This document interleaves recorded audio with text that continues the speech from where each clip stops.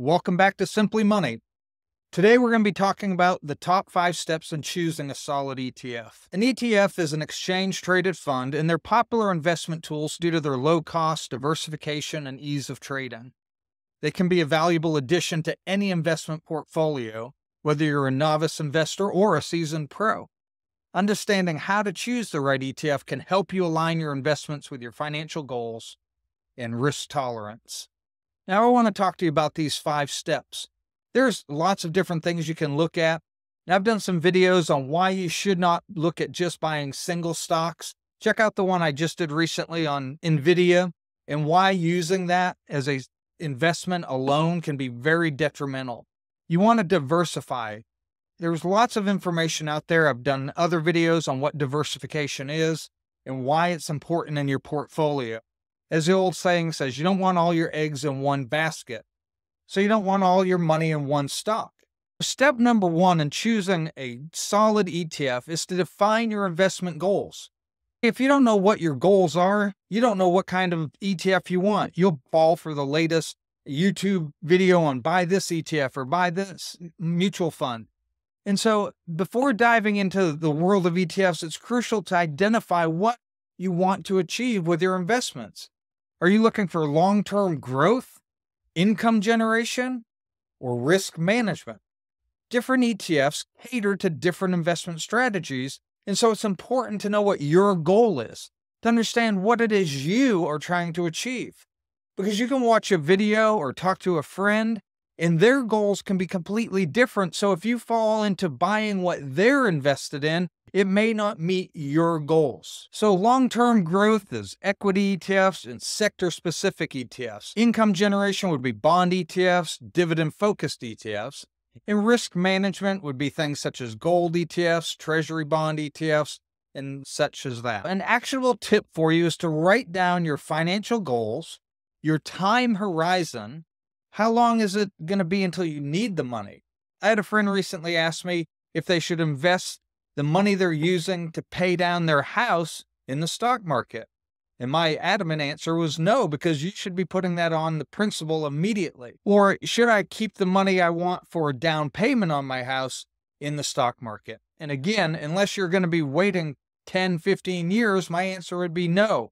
Put it in a high yield savings, maybe buy some CDs, but you don't want to tie up your money, nor do you want to get caught where when you need your money and the market may be down, that you have to take it out at an extreme loss.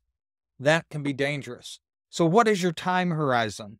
And what is your risk tolerance? Some people can handle the ups and downs, the highs and the lows of the stock market and of higher growth stocks or ETFs, such as technology fields, and others cannot. So you need to know what your risk tolerance is because if you're not in your risk tolerance, you're going to be pulled in and out of the market because your emotions will get the best of you.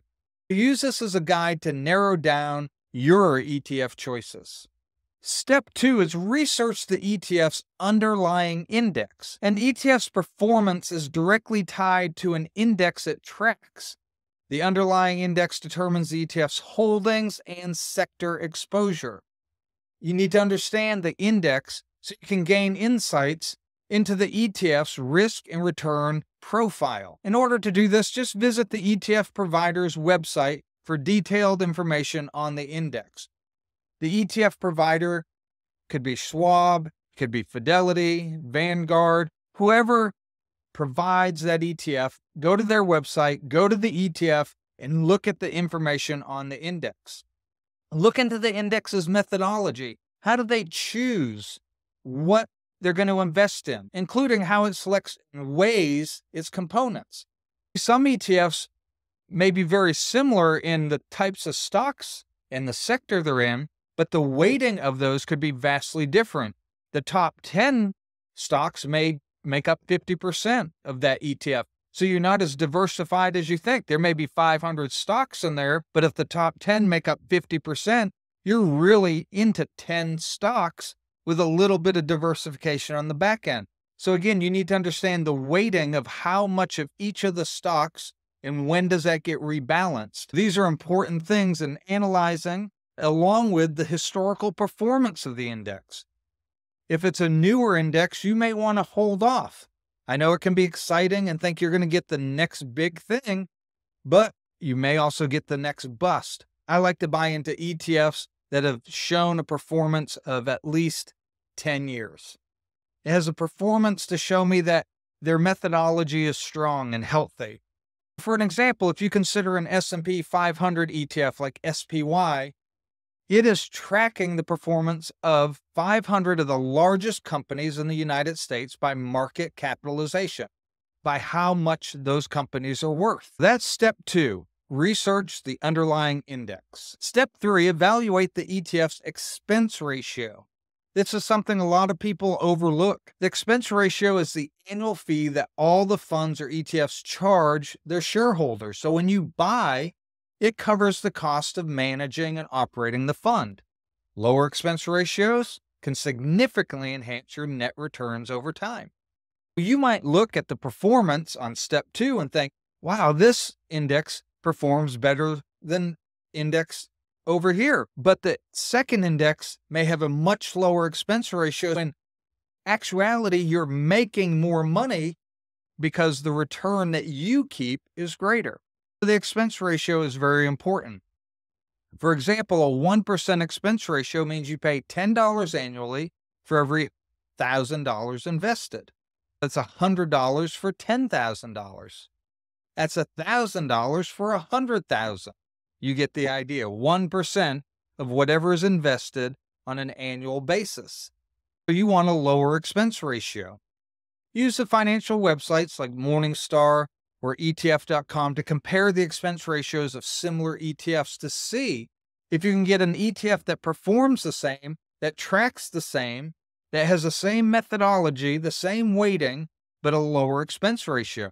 That's more money in your investment portfolio. Look for ETFs with expense ratios below 0.50% for broad market exposure. Step number four, assess the ETF's liquidity and trading volume. All that means is liquidity refers to how easily you can buy or sell an ETF without affecting its price. High liquidity means tight bid ask spreads and lower trading costs.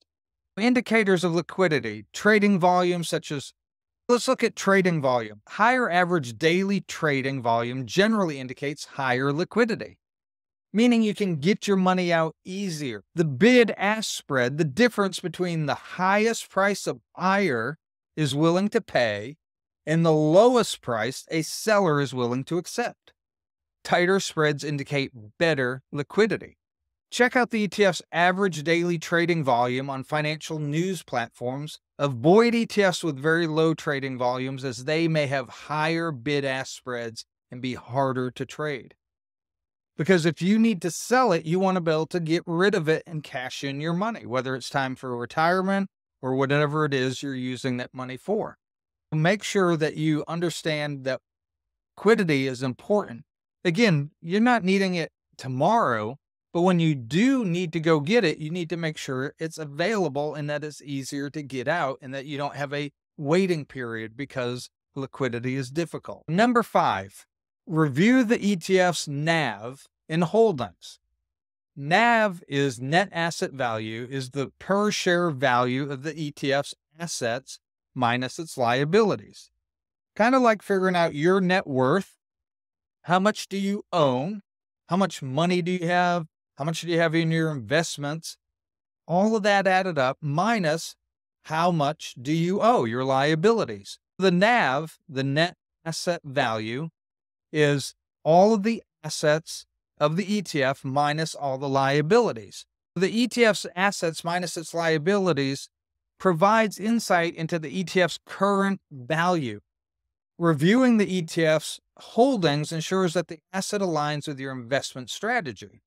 Let's look at it. Analyzing the NAV is typically updated at the end of each trading day and again, you can find this on the ETF provider website. Compare the NAV with the ETF's market price to check for significant premiums or discounts. If you take the assets minus the liabilities and divide that by the number of outstanding shares, that gives you the price value of that ETF.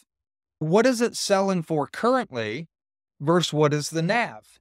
If the selling price is way higher than the NAV, then that's a premium. You're paying way more than the value of the ETF, very much like a stock. If the value of the stock is much higher than the value of the company, you're paying a premium. But if the value, the cost of the index is lower than the current NAV, the value, then you're buying at a discount. That's when we want to buy. We want to buy at a discount. Now, again, I encourage you to do dollar cost averaging. If you find an ETF you like, buy into it on a regular, consistent cadence, whether it's weekly, monthly, quarterly, consistently invest, and you'll get the highs, the lows, and you'll build a buy in and you'll make up for you may buy high one day, you may buy low another day, and it averages out, thus dollar cost averaging.